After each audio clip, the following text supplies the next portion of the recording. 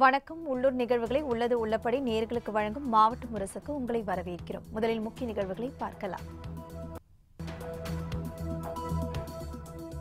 தமிழகம் முழுவதும் டெங்கு காய்ச்சல் தடுப்பு நடவடிக்கை. கொசு ஒழிப்பு பணிகளில் நகராட்சி ஊழியர்கள் தீவிரம்.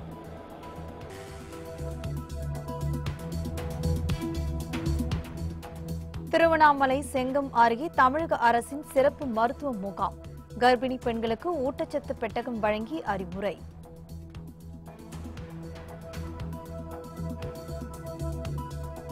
நாகையில் அதிநவீன தொழில்நுட்பத்தை பயன்படுத்தி விவசாயம். ஆளில்லா விமானம் மூலம் பயிர்களுக்கு களைக்கொல்லி மருந்து.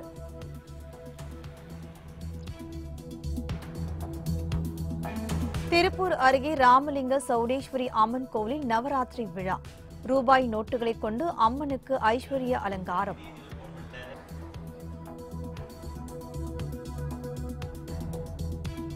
காஞ்சிபுரம் அருகே புதிதாக கட்டப்பட்டு வரும் மேம்பாலத்தில் விரிசல். உரிய முறையில் சாலை வசதிகளை மேற்கொள்ள சமூக ஆர்வலர்கள் கோரிக்கை.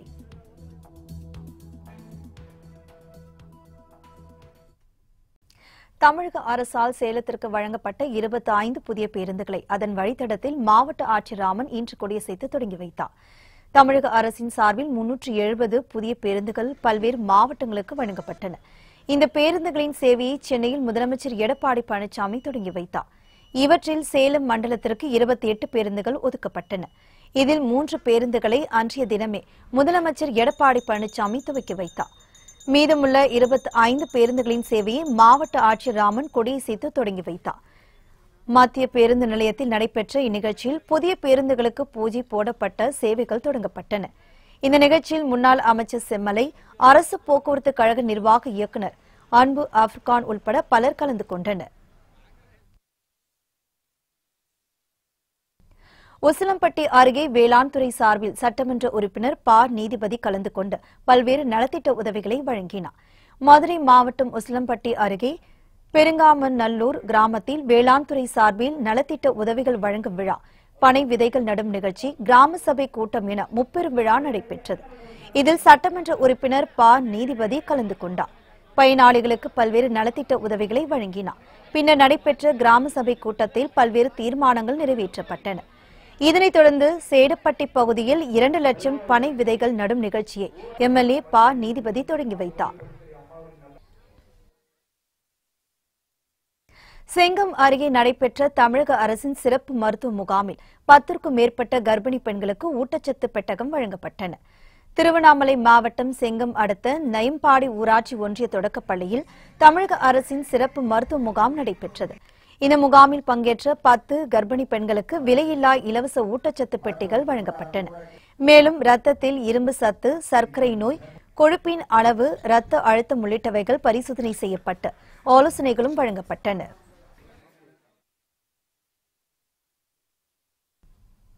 சிவகாசியில் காதி கிராமோதயா சங்கம் சார்பில் கதர் மற்றும் பட்டு தள்ளுபடி விற்பனை செய்யப்பட்டது.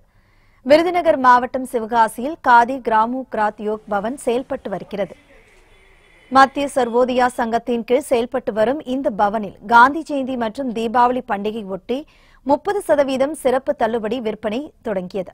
இங்கு கதர் மற்றும் பட்டாடைகள் கிராமப்புறங்களில் கைகளால் செய்யப்பட்ட கைவினைப் பொருட்கள் இயற்கை பொருட்களை கொண்டு தயாரிக்கப்படும் வீட்டு உபயோகப் பொருட்கள் அழகு சாதன பொருட்கள் வாசனை திரவியங்கள் உள்ளிட்டவை விற்பனைக்கு வைக்கப்பட்டுள்ளன. தீபாவளி மற்றும் காந்தி ஜெயந்தி அவர்களின் நூத்தி ஐம்பதாவது பிறந்த நாள் விழாவை முன்னிட்டு கதர் பட்டு பாலி ரகங்களுக்கு முப்பது சதவீத தள்ளுபடியில் விற்பனை செய்து விற்பனை இன்று துவங்கப்பட்டுள்ளது. கிராம பொருள்களில் வேலை செய்யும் ஏழை நெ- நெசவாளர்கள் நூற்பவர்களை ஊக்குவிக்கும் விதமாக கிராம கைத்தொழில் பொருட்களை அனைத்து ஊழியர் அனைத்து மக்களும் அனைத்து முதலாளிகளும் வாங்கி எங்களது சர்வ சங்கத்தின் கிராமப்புற வேலை வாய்ப்பை ஊக்கப்படுத்த அனைவரும் ஒத்துழைப்பு தருமாறு அனைவரையும் அன்புடன் எங்களது சங்கத்தின் சார்பாக வேண்டி விரும்பி கேட்டுக்கொள்கிறேன். நாகையில் ஐம்பத்தி எட்டு அரசு ஆரம்ப சுகாதார நிலையங்களில் டெங்கு காய்ச்சல் முன்னெச்சரிக்கை பாதுகாப்பு வசதிகள் செய்யப்பட்டுள்ளதாக சுகாதார பணிகள் துணை இயக்குநர் சண்முக சுந்தரம் தெரிவித்துள்ளார். நாகை மாவட்டம் முழுவதும் டெங்கு காய்ச்சல் ஒழிப்பு முன்னெச்சரிக்கை நடவடிக்கைகள் மேற்கொள்ளப்பட்டு வருகிறது. அதன்படி வேளாங்கண்ணி ஆரம்ப சுகாதார நிலையத்தில் செயல்பட்டுள்ள டெங்கு காய்ச்சல் தடுப்பு நடவடிக்கைகள் தனி வார்டுகள் அரசு மற்றும் தனியார் பள்ளிகளில் டெங்கு காய்ச்சல் பரவக்கூடிய ஏடிஎஸ் கொசு ஒழிப்பு சுத்தம் செய்தல் நிலவேம்பு குடிநீர் வழங்கும் பணிகளை துணை இயக்குநர் சண்முக சுந்தரம் நேரில் ஆய்வு செய்தார். பின்னர் செய்தியாளர்களிடம் பேசிய அவர் நாகையில் பொது சுகாதாரத்துறையின் கீழ் உள்ள ஐம்பத்தி எட்டு அரசு ஆரம்ப சுகாதார நிலையங்களில் டெங்கு காய்ச்சல் முன்னெச்சரிக்கை மற்றும் பாதுகாப்பு வசதிகள் செய்யப்பட்டு வருவதாக சுகாதார பணிகள் துணை இயக்குநர் சண்முக சுந்தரம் தெரிவித்தார்.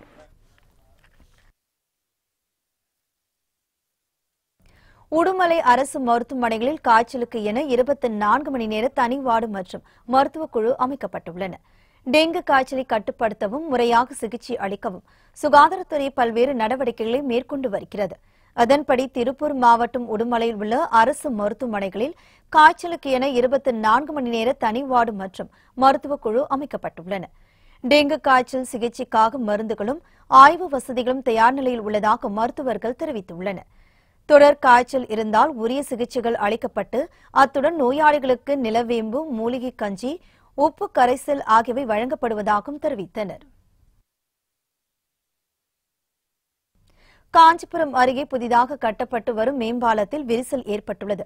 பொதுமக்களிடையே அச்சத்தை ஏற்படுத்தியுள்ளது. காஞ்சிபுரம் புதிய ரயில் நிலையம் அருகே ஐம்பது கோடி ரூபாய் மதிப்பீட்டில் மேம்பாலம் கட்ட நிதி ஒதுக்கப்பட்டு பணிகள் நடைபெற்று வருகிறது. தொன்னூறு சதவீதம் பணிகள் நிறைவு பெற்று ஓரிரு மாதத்தில் திறக்கப்பட உள்ள நிலையில் மேம்பாலத்தில் அமைக்கப்பட்டுள்ள தார் சாலைகளில் பல இடங்களில் விரிசல் ஏற்பட்டது. இதனை நேரில் ஆய்வு செய்த காஞ்சிபுரம் திமுக எம்பி செல்வம் தரமான முறையில் மேம்பாலம் கட்ட அதிகாரிகளிடம் முறையிட இருப்பதாக தெரிவித்தார். வேலூரில் பல்நோக்கு மருத்துவ முகாமை தமிழக ஆளுநர் பன்வாரிலால் புரோஹித் துவக்கி வைத்தார். வேலூர் மாவட்டத்தில் பல்நோக்கு மருத்துவ முகாம் தொடங்கப்பட்டது. இதன் தொடக்க விழாவில் தமிழக ஆளுநர் பன்வாரிலால் புரோஹித் கலந்து கொண்டு முகாமை துவக்கி வைத்தார். அத்துடன் ஆட்சியர் சண்முகம் சுந்தரம் இந்திய செஞ்சிலுவை சங்க நிர்வாகிகள் மாணவர்கள் பலரும் கலந்து கொண்டனர். இதில் பொது மருத்துவம் கண் சிகிச்சை உள்பட பல்வேறு பிரிவுகளின் கீழ் பொதுமக்களுக்கு இலவச மருத்துவ பரிசோதனை நடைபெற்றது. மருத்துவ முகாமில் ஏராளமான பொதுமக்கள் கலந்து கொண்டு சிகிச்சை பெற்றனர்.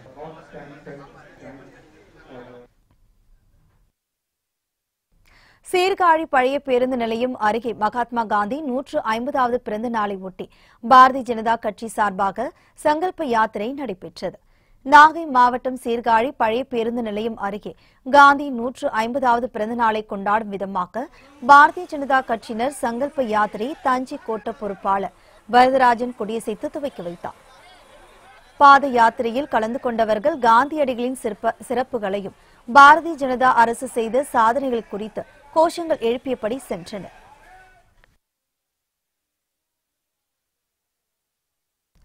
தூத்துக்குடி மாவட்ட காவல்துறை சார்பில் காவல் நிலையங்களில் மரக்கன்றுகள் நடும் விழா நடைபெற்றது. தூத்துக்குடி மாவட்ட காவல்துறை கண்காணிப்பாளர் அருண் கோபாலன் உத்தரவின் பேரில் ஒட்டப்பிடாரம் புதியம்பு புத்தூர் புளியம்பட்டி மணியாச்சி நாரைக்கிணறு கடம்பூர் உள்ளிட்ட காவல் நிலையங்களில் ஐநூற்றுக்கும் மேற்பட்ட பயனுள்ள மரக்கன்றுகள் நடப்பட்டது. மேலும் தட்டப்பாறை சாலை உள்ளிட்ட பகுதிகளில் நடந்த விழாவில் காவல்துறை உதவி ஆய்வாளர் காமராஜ் மரக்கன்றுகளை நட்டார். இவ்விழாவில் போலீசார் மற்றும் பொதுமக்கள் ஏராளமானோர் கலந்து கொண்டனர்.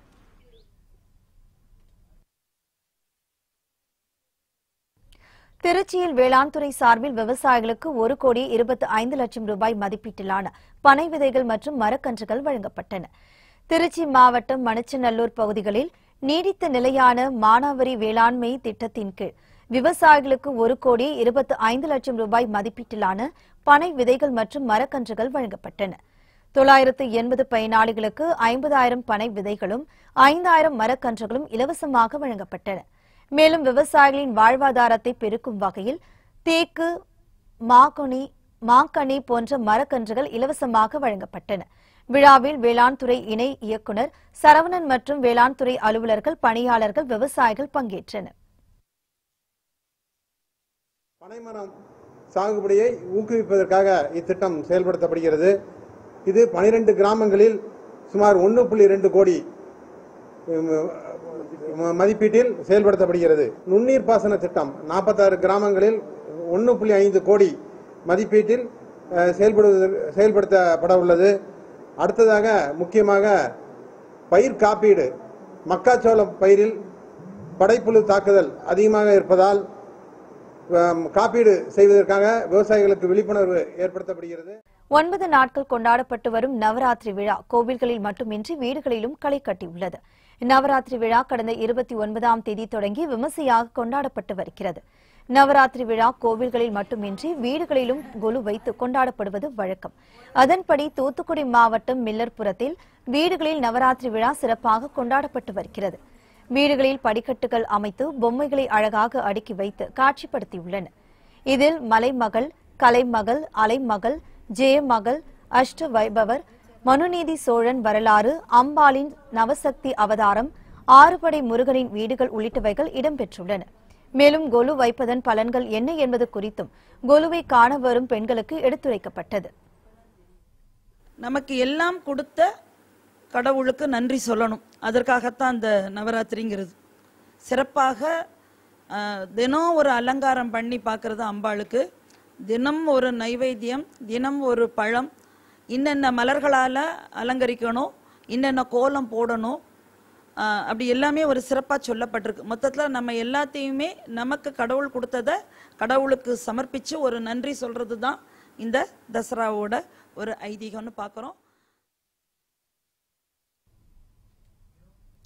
அத்துடன் பாடல்களை பாடி தினமும் வழிபாடும் நடத்துகின்றன. மேலும் ஒன்பது நாட்களும் நவ தானியங்களில் சுண்டல் உள்ளிட்ட உணவு வகைகளை செய்து படையலிட்டு கொலுவை காண்ப வருபவர்களுக்கு கொடுத்து மகிழ்கின்றனர்.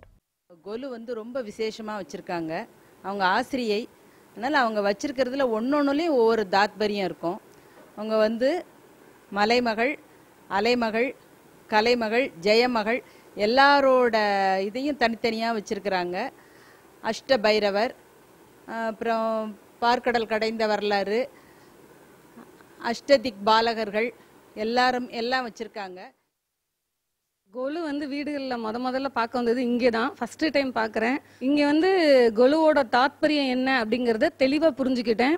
இந்த கொலுவில் ஆறுபடை வீடு முருகன் அவங்களோட அந்த ஆறுபடை வீடுகளும் இருக்குது பஞ்சபூத தலங்கள் வந்து இருக்குது மகாலிங்க தலங்கள் வந்து இருக்கு. தாமிரபரணி கரையில் இருக்கக்கூடிய நவ கைலாயங்களும் நவ திருப்பதி தலங்களும் இங்கே இருக்கு.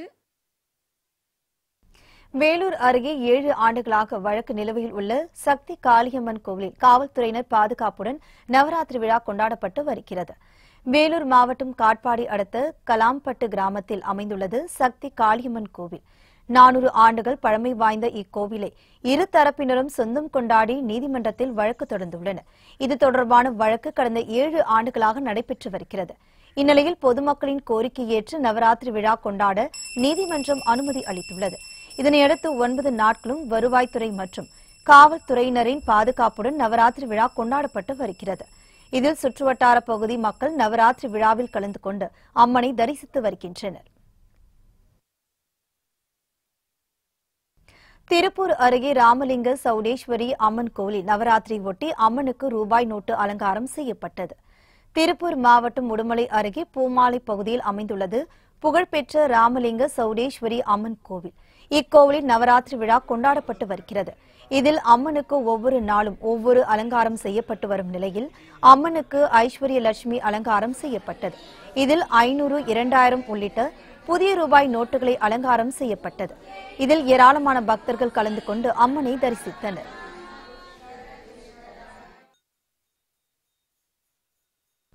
மதுரை அருகே சங்கீத வித்யாலயாவின் மூன்றாம் ஆண்டு விழாவை ஒட்டி பள்ளி குழந்தைகளின் பாடல்களை பாடியும் பரதநாட்டியம் ஆடியும் அசத்தினர்.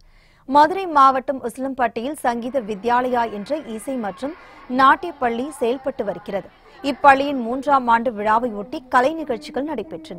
இதில் பள்ளி குழந்தைகள் கலந்து கொண்டு பாடல்களை பாடியும் வீணை வாசித்தும் பரதநாட்டியம் ஆடியும் தங்கள் திறமைகளை வெளிப்படுத்தினர். இதில் மாணவர்கள் அனைவருக்கும் பரிசுகள் வழங்கி பாராட்டு தெரிவிக்கப்பட்டனர்.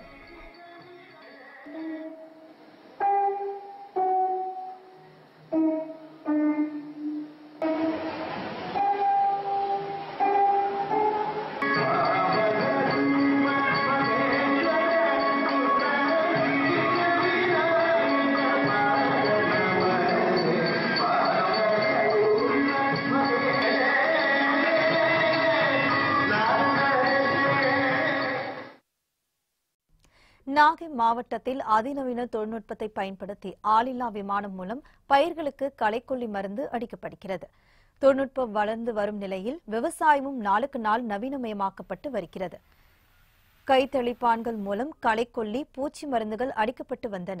தற்போது சீனா போன்ற வெளிநாடுகளில் இருந்து தனியார் நிறுவனம் ஒன்று பூச்சி மருந்து தெளிப்பதற்காக டிராகன் எனப்படும் இலகுரக வானூர்தி மருந்து தெளிப்பானை பயன்படுத்தி வருகின்றது. இதன் மூலம் ஐந்து முதல் ஏழு நிமிடங்களில் ஒரு ஏக்கருக்கு பூச்சி மருந்துகளை தெளிக்க முடியும். இந்த முறையில் மருந்து தெளிப்பதன் மூலம் ஐந்தில் ஒரு பங்கு களைக்கொல்லி மருந்து மட்டுமே தேவைப்படுகிறது என்றும் விவசாயிகள் தெரிவிக்கின்றனர். ஆள் பற்றாக்குறை உள்ள நிலையில் இந்த இயந்திரம் மிகுந்த பயனுள்ளதாக உள்ளது எனவும் விவசாயிகள் கூறுகின்றனர்.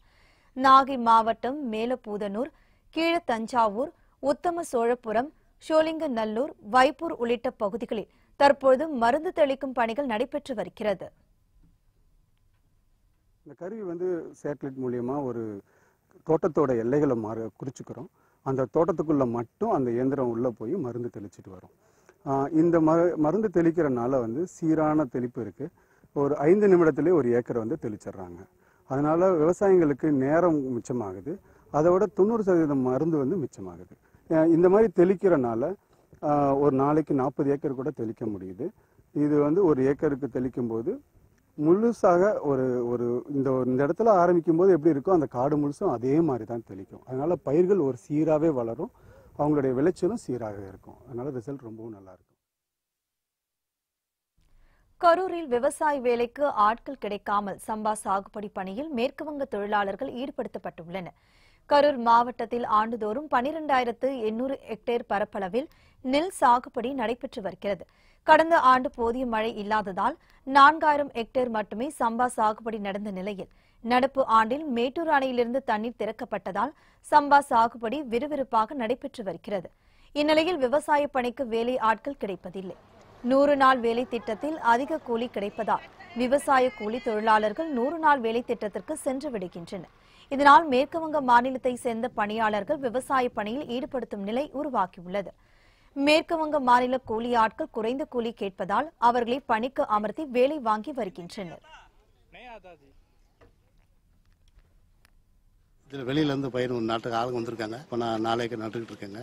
இன்னைக்கு நடவாகிட்டு இருக்குது.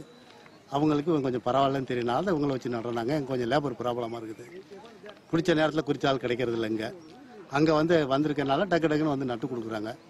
அவங்க பதினஞ்சு ஆள் வந்தானா ஒரு ஏக்கர் ரெண்டு மணி நேரத்தில் நடுறாங்க. இவங்க பதினஞ்சு வந்து பொழுதுனிக்கு நடுவாங்க ஒரு ஏக்கர். அதுவும் இல்லாமல் பயிரை வந்து உரம் இவங்களே போட்டுக்கிறாங்க. பயிரை வந்து நாத்தங்கால்லேருந்து கொண்டு போய் நடுற வரைக்கும் இவங்களை செலவு பண்ணிக்கிறாங்க. நம்ம வந்து தூக்கி கொடுக்கணும் பயிர். இவங்களுக்கு அவங்களுக்கு அதான் வித்தியாசங்க கொடைக்கானல் மலைப்பகுதிகளில் சில நாட்களாக தொடர்ந்து பெய்து வரும் மழை காரணமாக விவசாயிகள் மகிழ்ச்சியுடன் உழவுப் பணிகளில் தீவிரம் காட்டி வருகின்றனர்.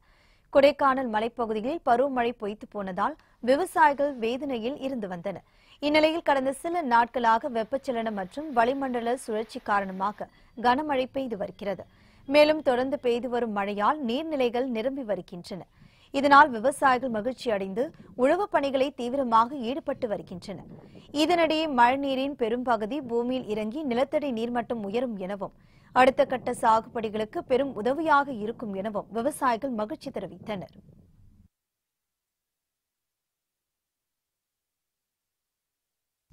கும்பகோணம் அருகே நேர்மையோடு நடந்து கொள்வது குறித்து விழிப்புணர்வு ஏற்படுத்தும் வகையில் ஆளில்லாத கடை திறக்கப்பட்டு வியாபாரம் செய்யப்பட்டது.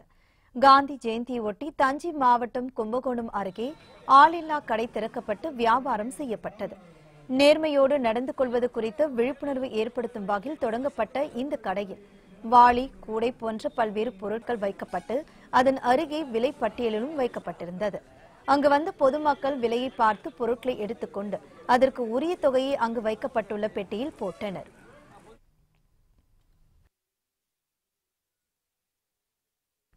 கிருஷ்ணகிரி மாவட்டம் ஊத்தங்கரையில் மாவட்ட அளவிலான உழவர் திருவிழா நடைபெற்றது. உழவர் திருவிழாவில் விவசாயிகளுக்கு சொட்டு நீர் பாசன உபகரணங்கள் மண்வள அட்டைகள் நல உதவிகள் வழங்கப்பட்டன. இதில் மத்திய உணவு மற்றும் பொது விநியோக திட்டத்துறை கூடுதல் செயலர் மஜ்ஹி சட்டமன்ற உறுப்பினர் மனு ரஞ்சிதம் நாகராஜ் உள்ளிட்டோர் பங்கேற்றனர். விழாவில் பேசிய மாவட்ட ஆட்சியர் பிரபாகர் இந்தியாவிற்கே முன்னோடியாக நீர் மேலாண்மை திட்டத்தை தமிழகம் சிறப்பாக செயல்படுத்தி வருவதாக தெரிவித்தார். கிருஷ்ணகிரி மாவட்டத்தில் உள்ள நூறு ஏரிகள் நானூறு குளம் குட்டைகள் தூர்வாரும் பணி நடைபெற்று வருவதாகவும் கூறினார். திருச்சியில் வன விலங்குகளின் முகமூடி அணிந்து மாணவ மாணவியர் விழிப்புணர்வு பேரணி நடத்தினர். வன உயிரின வார விழாவை ஒட்டி திருச்சியில் விழிப்புணர்வு பேரணி நடைபெற்றது. இதில் விலங்குகள் முகமூடிகளை அணிந்தபடி நானூற்றுக்கும் மேற்பட்ட கல்லூரி மாணவ மாணவிகள் கலந்து கொண்டனர். மாவட்ட முதன்மை நீதிபதி மாவட்ட ஆட்சியர் ஆகியோர் பேரணியை கொடியசைத்து தொடங்கி வைத்தனர். காடுகளின் அவசியம் அழிந்து வரும் அரிய உயிரினங்கள் மண்வளம் காக்க மரம் வளர்ப்போம் உள்ளிட்ட கருத்துக்களை வலியுறுத்தி இந்த பேரணி நடைபெற்றது.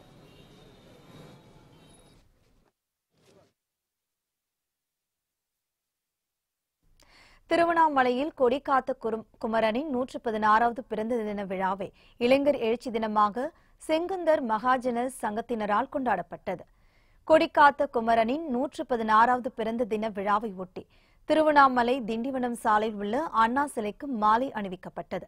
பின்னர் இளைஞர் எழுச்சி பேரணி காந்தி சிலை தேரடி வீதி திருவூடல் தெரு மணலூர்பேட்டை சாலை வழியாக சுமார் ஆறு கிலோமீட்டர் வரை சென்று தனியார் பள்ளி ஒன்றில் நிறைவடைந்தது. இந்த பேரணியில் திரைப்பட இயக்குனர் ஆர் கே செல்வமணி உலக துப்பாக்கி சுடுதல் போட்டியில் தங்கம் வென்ற இளவேனில் உள்ளிட்ட ஐந்தாயிரத்திற்கும் மேற்பட்டோர் கலந்து கொண்டனர்.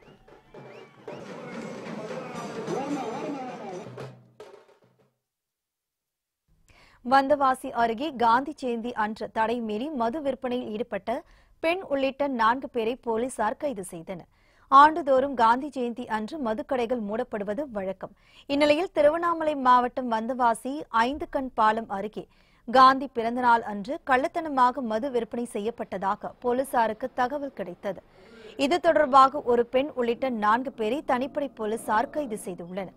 மேலும் அவர்கள் வைத்திருந்த ஆறுநூற்று எழுபத்து நான்கு மது பாட்டில்களையும் போலீசார் பறிமுதல் செய்தனர்.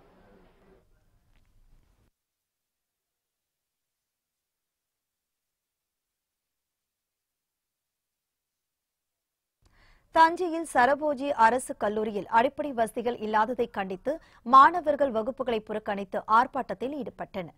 தஞ்சை மாவட்டத்தில் அமைந்துள்ள சரபோஜி அரசு கல்லூரி கட்டிடங்கள் கஜா புயலில் வகுப்பறைகள் சேதமடைந்துள்ளதாக மாணவர்கள் குற்றம் சாட்டி வருகின்றனர். மழைக்காலங்களில் வகுப்பறையில் அமர முடியாத சூழல் உள்ளதாகவும் பாம்பு உள்ளிட்ட விஷப்பூச்சிகள் வகுப்பறைக்குள் நுறுவதால் அச்சத்துடனே பாடத்தை கற்கும் அவலநிலை உள்ளதாகவும் வேதனை தெரிவிக்கின்றனர்.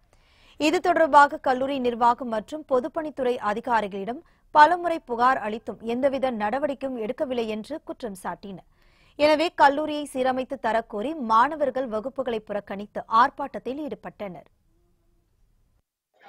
தஞ்சாவூரில் உள்ள மன்னர் அரசு சரபூஜை கலைக்கல்லூரியில் அடிப்படை வசதிகளை செய்து தர கோரியும் மாணவர்களுக்கு சிற்றுண்டி வசதி ஏற்படுத்தி தர கோரியும் இந்திய மாணவர் சங்கம் தலைமையில் வகுப்புகளை புறக்கணித்து காலையிலிருந்து போராட்டம் என்பதை நடத்தி கொண்டிருக்கிறோம்.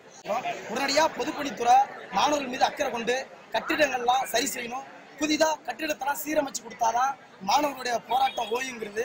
இல்லைன்னா எங்களோட போராட்டம் அடுத்த கட்ட வடிவில் தொடர்ந்து நடத்திக்கிட்டு தான் இருப்போம். மலை ஃபுல்லாக என் கிளாஸ் ரூம்லாம் மேலெல்லாம் அப்படியே உடைஞ்சி அப்படியே ஒரு மாதிரி இருக்கு. ஒரு எக்கனாமிக்ஸ் டிபார்ட்மெண்ட்னு பார்த்து சொன்னோம்னா ஓட்டு கட்டடத்துல தான் உட்காந்துருக்கோம் ஃபஸ்ட்டு எங்களுக்கு கிளாஸ் கிளாஸ் ரூம் சரி பண்ணி கொடுங்க. நெக்ஸ்ட் பாத்ரூம் ஃபெசிலிட்டிஸ் வேணும். நெக்ஸ்ட் கேண்டீன் வசதி வேணும். காலேஜுங்கிறது பொறுத்து வந்து கேண்டீன் வசதி இருக்கணும்.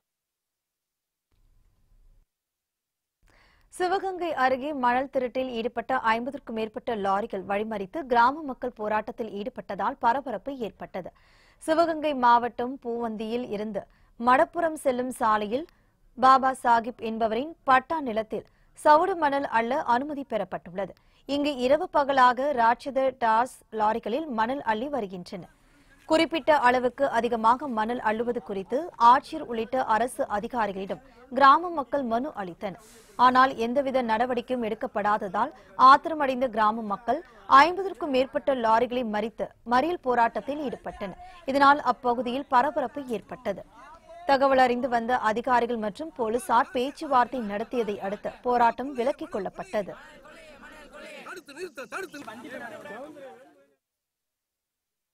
டெங்கு கொசுக்களின் உற்பத்தியை தடுக்க நகராட்சி சார்பில் கொசு மருந்துகளை தெளிக்கும் பணி தீவிரமாக நடைபெற்று வருகிறது.